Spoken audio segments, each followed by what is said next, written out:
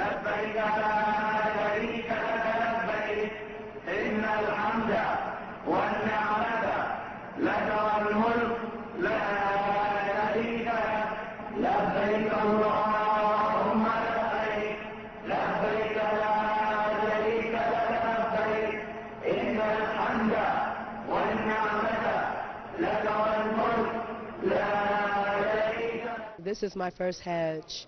and it was the greatest experience of my life as it was and is for millions of people who have able to become and honored to be chosen by Allah to do so. And it couldn't have been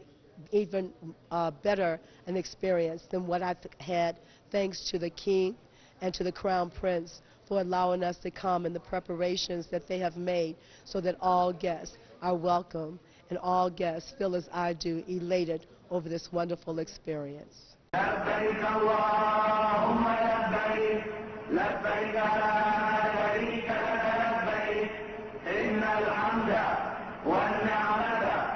لك والملك لا شريك لبيك اللهم لك